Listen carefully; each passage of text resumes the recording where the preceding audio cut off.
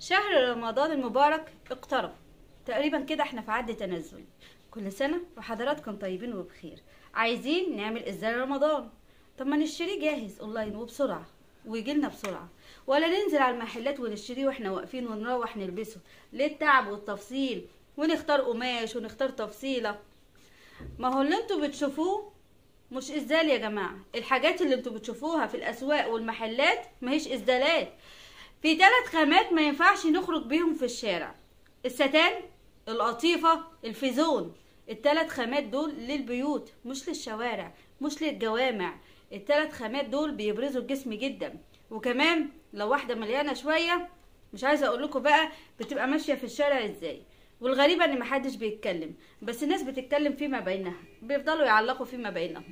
بس وأنتي ماشية شايفة إنه حلو. حتى أصحابك والمقربين ليكي دايما بيقولك الله الاسدال ده جميل قوي. بس لو إحنا بصينا على شروط وضوابط هذا الاسدال هنلاقيها مش مناسبة بالمرة. لا نروح بيها تراويح ولا حتى نخطي بيها من باب الشقة. عرفتوا إيه فايدة التفصيل؟ فايدة التفصيل إنك هتعملي حاجة لا تشف ولا تصف إنك هتعملي خامة. ممكن تكون كريب أو قطن أو قماشة تكون مريحة للجسم وكمان هتكون آه، مناسبة وموافقة للشروط المطلوبة للإسدال.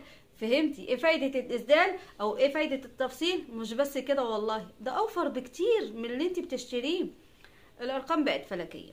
والناس بقت بتقول آه بس شكله حلو. ما هو كل حاجة غليت كل حاجة أسعارها ارتفعت. بس لو بصيتي انت محتاجة أصلا في الازدال بتاعك 3 متر ونص من قماش الكريب ولا حتى من القماش الفسكوز ولا من القماش القطن أو أو أو هتلاقي إنه مش هيجيب خالص ربع تمن الجاهز. فهمتوا إيه فايدة التفصيل بس انت خايفة تبوظي القماش؟ ما هو الكلام ده لو انت مش متابعة معانا. ما هو انت لو مش متابعة معانا لأن إحنا أصلا في قناتنا بنعمل الكلام ده على ثلاث مرات. أول مرة بنشرحه كده على الورقة ونقصه. تاني مرة بنوثق المعلومة وبنقص على قماش صغير. تالت مرة بنجيب القماش الكبير وبننفذ عليها. تبقى التالتة تبت. مش هتتعلمي إزاي؟ عرفت إن الموضوع سهل وبسيط. انت حتى ممكن تجيبي دلوقتي قماشة ملاية السرير وتعملي معايا الإسدال وهتلاقي إنك عاملة حاجة أحلى من اللي بره مختلفة عن اللي بره مش مكررة مش كل الشارع لابس يعني شبه بعض.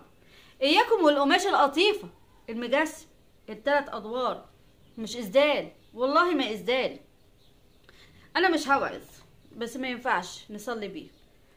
أنا مش هقول لكم قال الله وقال الرسول أكيد كلنا فاهمين اللي ينفع نخرج بيه وإيه اللي ينفع نقعد بيه في البيت. هتتابعوا معانا؟ هنعمل الازدال حاجة كده فضفاضة. شكلها حلو.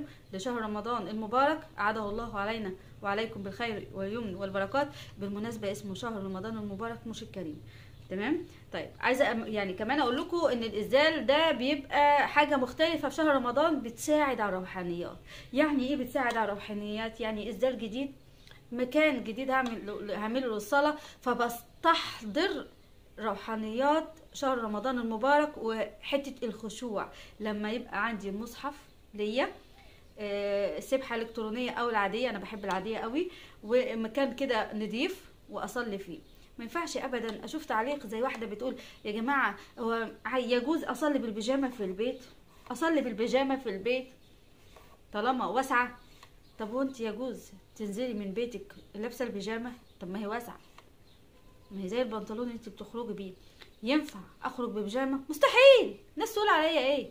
أنا لازم قبل ما أخرج. آه يعني أتأمق في نفسي كده وألبس كده وأطقم كده وأعمل تشكيلة ألوان وطرحة. لا ده مش مكوية دي لازم تتكوي. والشنطة الفلانية. طب ليه لما أجي أصلي أبقى مكسلة ألبس الإزدال؟ أي منطق هذا؟ من الأولى ب... بهذا الاستحضار والاستعداد. الناس أم رب الناس. الناس أم رب الناس؟ الأولى بالاستحضار يا سادة هو رب الناس. الأولى إني ألبس حاجة نظيفة هو رب الناس. الأولى إني أطيل السجود والركوع هو رب الناس. والشراب لازم يتلبس. الاختلاف والله كان في الرج- الرجل يعني في في المنطقة اللي تحت كده مش لا هو لازم تتغطى. يعني لما يكون الازال طويل قوي قوي هيبقى سهل إنه أنا عادي ما ألبسش شراب. لكن أنا أصلا أختلف إنه آه، ألبس شراب ولا لا؟ هي دي بقى المشكلة. فلازم هو ده ال- الأولى بالاستحضار هو إني أصلي في مكان نظيف وإني اكون لابسه شراب وكون لابسه إزاز نظيف وكويس قوي قوي قوي هتتابعوا الإزاز بتاعنا هتتابعوا الإزاز بتاعنا. على إيه؟ على قنواتنا. خياطة وتدبير وإعادة تدوير وكمان قناتنا الخياطة أسهل مع أم عبد الرحمن. بنشرح مرة واثنين وثلاثه علشان نوثق المعلومة. وكل سنة وحضراتكم طيبين. وكل سنة وأنتم بخير دايما يا رب وسالمين. اترككم في رعاية الله. السلام عليكم ورحمة الله وبركاته.